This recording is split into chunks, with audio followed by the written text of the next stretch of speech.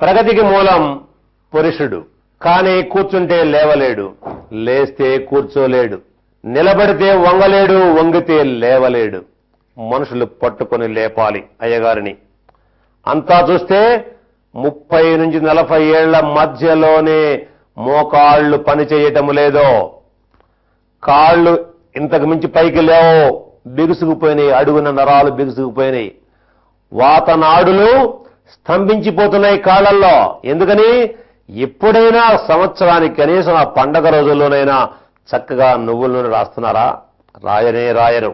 తినటం శుద్ధల్లాగా కూర్చోవడం బండెక్కడం ఆఫీస్కో వ్యాపార సంస్థకో పోవడం అక్కడ మళ్ళా కూర్చోవడం అక్కడ సాయంత్రం లేవటం మళ్ళా బండెక్కడం ఇంటికి రావటం టీవీ ముందు కూర్చోవటం అక్కడే తినటం అక్కడే పడుకోవటం. పంజరాలలో ఉండేటువంటి ఫారెన్ కోళ్ళు ఏ విధంగా ఉంటాయో అలా ఇంతలా ఉంటుంది పొట్ట అంతే. ఈ పొట్టలో చెత్త మొత్తం మురుగుడు వాయువులు మోకాళ్ళలోకి చేరి మోకాళ్ళను నాశనం చేస్తున్నాయి. అదేవిధంగా నడువుల్లోకి పోయి నడువు నాశనం చేస్తున్నాయి. ఎక్కడ సంధుల్లో ఎక్కడ ఖాళీలు ఉంటే అక్కడకు చెడు వాయువు ప్రవేశించి చెడు పదార్థం ప్రవేశించి ఆ భాగాన్ని నాశనం చేస్తూ ఉంది. ఈ సమస్య మోకాళ్ళలో కాదో సమస్య ఉదరములో ఉన్నది. ఉదరములో చెత్త లేకుండా ఎప్పుడు శుభ్రముగా జీర్ణం అయ్యేటట్లుగా జాగ్రత్త తీసుకుంటూ ఉంటే అంటే వాత పిత్త కఫములు అనబడే త్రిదోషములను సమానముగా ఉంచుకోవడం కోసం ఏ మానవుడు ప్రయత్నము చేయుచున్నాడో వాడిని వాత నొప్పులు బాధించుటలేదు అలాంటి వ్యక్తి ఇప్పుడు మీ ముందుకు వస్తున్నాడు. తన స్వానుభవాన్ని బల్ల గుద్ది మరి చెప్పబోతున్నాడో తను ఎలా మోకాళ్ళ నొప్పి నుంచి బయటపడ్డాడో చక్కగా వినండి. నా పేరు మహమ్మద్ సర్దారు. నివాసము నేను వరంగల్ జిల్లాలో ఉంటున్నాను. నేను పోలీస్ డిపార్ట్మెంట్లో పనిచేస్తున్నాను. నాకు నాలుగు సంవత్సరాల నుండి మోకాల నొప్పులతోటి చాలా బాధపడచ్చు. ఈ ఇంగ్లీష్ మందులు వాడినా ప్రయోజనం లేకుండా చాలా బాధపడేవాడిని. నడవడానికి కూడా చాలా ఇదిగా ఉండేవాడిని.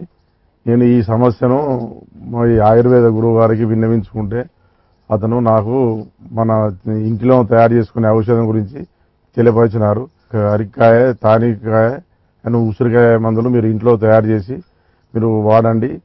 దీని గురించి మా గురువుగారు చెప్పినట్టుగా నేను ఇంట్లోనే ఔషధం తయారు చేసుకొని ఒక వన్ మంత్ నుంచి వాడుతున్నాను. అది వాడినప్పటి నుంచి నేను ఇప్పుడు కరెక్ట్గా నడవగలుగుతున్నాను.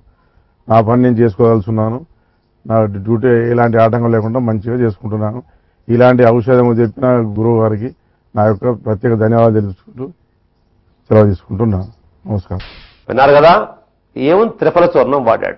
కరక్కాయ వంద గ్రాములు తానికాయ రెండు వందల గ్రాములు ఉసిరికాయ నాలుగు వందల గ్రాములు వంద రెండు వందలు నాలుగు వందలు మూడు కలిపి ఒక సీసాలో పెట్టుకొని ఒక చెంచా పొడి ఒక గ్లాసు గోరు వెచ్చని నీళ్ళలో కలిపి నిద్రించే ముందు తాగాడు ఇంతే.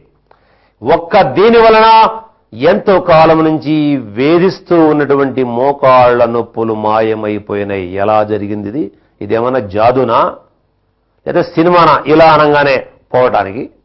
కాదే కరక్కాయ కన్న తల్లి తానికాయ తల్లికి తల్లి అమ్మమ్మ ఉసిరికాయ కల్పవల్లి ఈ మూడు తల్లుల దివ్యమైనటువంటి కలయికతో ఒక మహాశక్తి ఉద్భవిస్తుంది. ఆ ఆహార శక్తి లోపలికి తీసుకున్నప్పుడు ఎంత దూరం పోతే అంత దూరం పేగుల్లో పోతే పేగులను శుద్ధి చేస్తుంది. అక్కడ ఉన్నటువంటి అదనపు వాతాన్ని కిందకు తోసివేస్తుంది పైత్యం పెరిగితే పైత్యం తగ్గిస్తుంది కఫం పెరితే కఫాన్ని నరికి వేస్తుంది. వాత పిత్త కఫములు అనబడేటువంటి మూడు దోషాలను ఎల్లప్పుడూ సమానముగా ఉంచటము వల్ల ఉదరములోని చెడు వాయువులు శుద్ధి చెందటము వల్ల మోకాళ్ళ నొప్పులు తగ్గిపోయినవి. ఇప్పటి నుంచి మీకు దాదాపు రెండు దశాబ్దాల నుంచి త్రిఫల వాడండి వాడండి వాడండి అని మీకు చెప్తూనే ఉన్నాం. కానీ ఇప్పటికీ ఇంకా ఒక పది శాతము మించి నూటికి పది మంది తప్ప మిగిలిన తొంభై మంది వాడటం లేదు.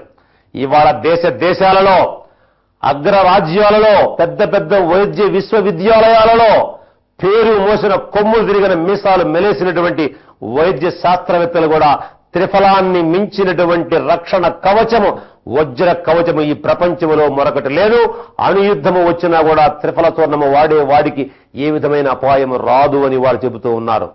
ఇదేమైనా ఖర్చా కష్టమా అపకారమా బాధ? ఏమీ లేదే. కానీ ఎందుకు మనం వాడటం లేదు? మంచిని మనం తెలుసుకోవటం లేదు వినటం లేదు. చివరి క్షణము వరకు కాళ్ళు చేతులు కళ్ళు అన్ని పని చేస్తూ ఉండాలి పని చేస్తూ ఉండాలంటే ఒక్క త్రిఫలం మనల్ని కాపాడుతుంది. నిద్రపోయేటప్పుడు అంత పొడి నీళ్ళు కలుపుకొని తాగి పడుకో హాయి దాని పని అది చేసుకుంటుంది. నువ్వు నిద్రపో హాయిగా నువ్వు. తెల్లవారు లేవగానే మరుదుడు పరిగెత్తుతావు. పొట్ట మొత్తం శుద్ధి చేస్తుంది. అయిపోయి దరిద్రం పోయింది నీకు. ఎంత హాయి ఎంత ఆనందము ఎంత అద్భుతమో ఎంత ఆశ్చర్యమో. దీంతో పాటు ఇంకోటి రాసుకోండి. త్వరగా సొంఠి వంద గ్రాములు. సరే రాసుకోండమ్మా.